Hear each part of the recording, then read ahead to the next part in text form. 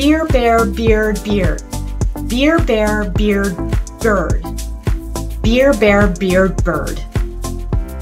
So I was trying to challenge myself and say these words a little bit faster, but they feel more like tongue twisters.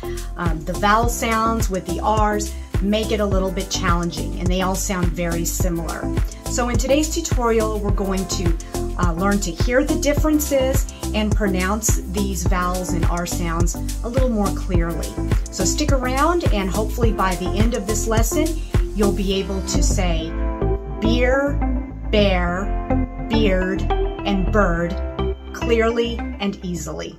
So, as we first look at these words, we notice that the spellings are very different, even for the words that have the same sound, like beer and beard.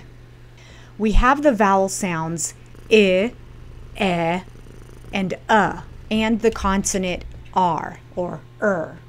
Now, the consonant r affects the sound of these vowels, and it's what we refer to as R colored vowels. And so, of course, I'm teaching these words from a standard American English pronunciation style. So, if you've learned British English and you say the R differently, that's fine, no problem. All right, so let's get started with the first word beer. Now, it rhymes with the word ear. So, the vowel sounds are somewhere between the E and the I. Okay, we kind of hear them both. Uh, we also hear them in the words clear, near, fear. Now you can see our chart, our vowel chart here, and you can see E and I are high front vowels compared to the rest of the vowels. So your tongue's going to be raised a little bit in the mouth, your lips are going to be a little bit tense when you say this word. And then next we have the consonant R or er. So you can see our chart here. When we make the R sound, you're going to curl your tongue back just a little bit. Curl the tongue and then round the lips, push them out a little bit and round them. Er. Er. Okay. Let's try the entire word. We have the b, okay, i, and er. Let's try that. Beer. Beer. Beer. Our second word is beard. Now, this word also has the I and E sound like beer and ear, but we add a D or D sound to the end. Basically, it sounds like beer with a D. Beard. Beard. Practice saying this beard. Remember, so we make the B, ear, D beard. Beard. Now remember, our tongue is rising just a little bit in our mouth for the I, E sound. Beard. Beer. Beard. Don't forget that final consonant D. Beard. Beard. Our next word, bear.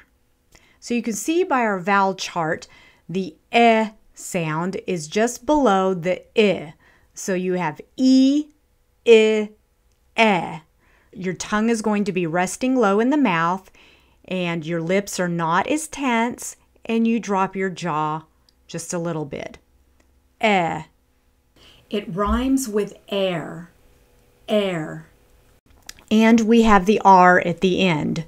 So the B sound, B, B, E, R. Bear bear, not beer, not the tense. Don't raise your tongue high in the mouth. Lower it, relax your lips, lower your jaw. Bear. And don't forget your R. Bear, bear. So let's start from the beginning. Beer, beard, bear. Our last word is bird.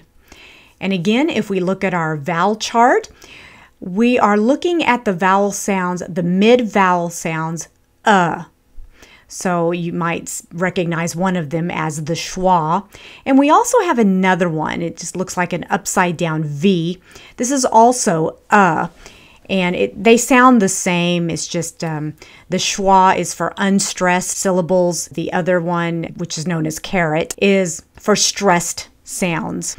And when we add the R to that, we get this symbol.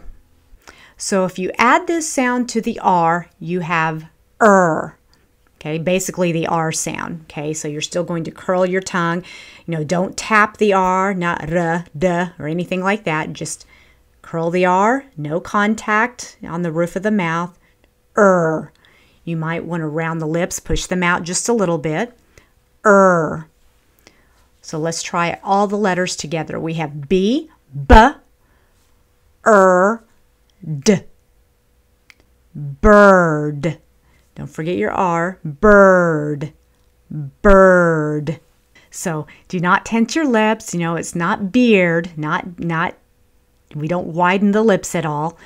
Just er, push them out, round the lips. Bird. Bird. All right, now let's try all four words slowly. We'll say each word twice. Number one, beer, beer. Number two, beard. Add the D, beard. Number three, bear, bear. And number four, bird, bird. Beer, beard, bear, bird. All right, very good. Practice these words again and again. And here's something fun you can do write these words down, and then ask a friend to identify which word that they hear you say. So maybe choose one or two, and then ask your friend to listen to you and say, you know, point to the words that I just said. Can they understand you if you say bear or beer, or bird and not beard? And don't forget to add the final consonant d to bird and beard. So if you'd like more pronunciation practice, check out my next video for the vowel diphthong ow. Happy learning, everyone!